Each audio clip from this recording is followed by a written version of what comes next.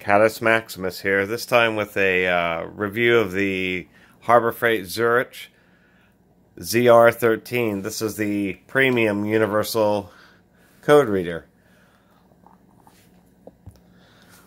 It's a pretty expensive code reader, uh, but I think it's uh, pretty well worth it. It apparently is a rebranded or actually remanufactured Innova. Because Innova doesn't actually have a case like this.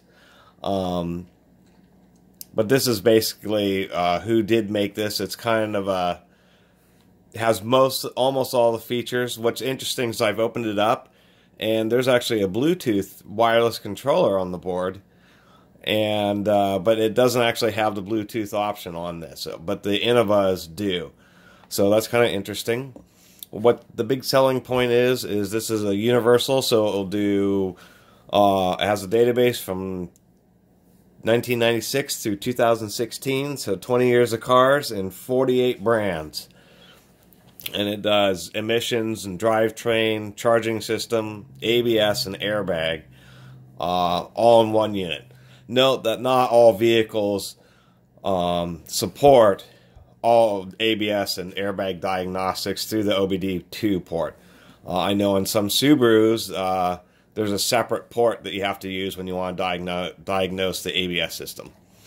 So that's of note. But if you have like a, G, a General Motors vehicle, then yeah, it'll totally do everything. It's uh, pretty ergonomic. The one comment I would make is they only use two screws here and two inside the battery cover. And if you can see, come on, focus the case kind of flexes a bit. Uh, I wouldn't drop this too much, is what I'm saying. And quite frankly, uh, if you do have issues, then you can put some zip ties around the waist here. uh, but it doesn't. It has a rubberized coating, but to tell you the truth, I don't think it's that impact resistant. It does use a standard 25 pin uh, serial or parallel port type port, so you can get extension cables for this if you'd like. Just a second here and we'll turn it on. It has a lighted connector. We'll turn it on. It uses three AA batteries.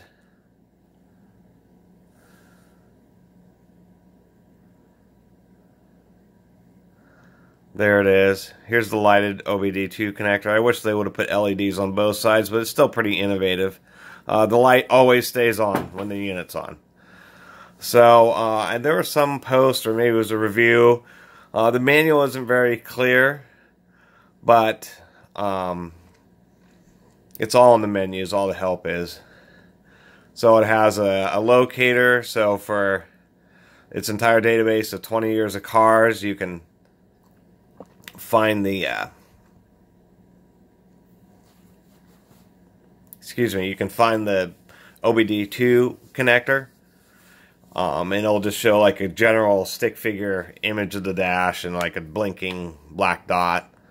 Um, you have this, so you have your tool icons, which is like pages. So this tells you what the green lights are at the top of the menu and the other icons.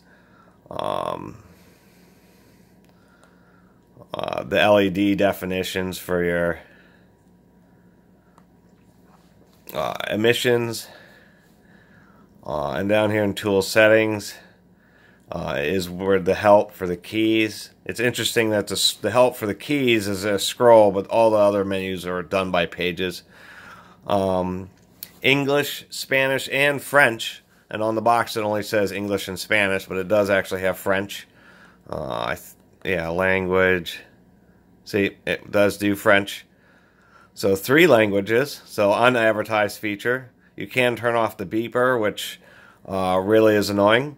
Uh, I don't have a video of it running on a vehicle right now, but um, I have tested it on a couple and it works great. It's like a 320 by 240 screen. It does real time or live graphing.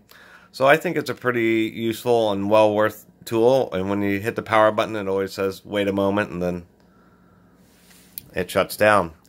So anyway, that was just a quick review. Uh, saw a couple reviews of the lower model, but this is just the one with the ABS and um, a quick guide on how to find um, the help menus for various things. Thanks for watching. Please subscribe. Catus Maximus out.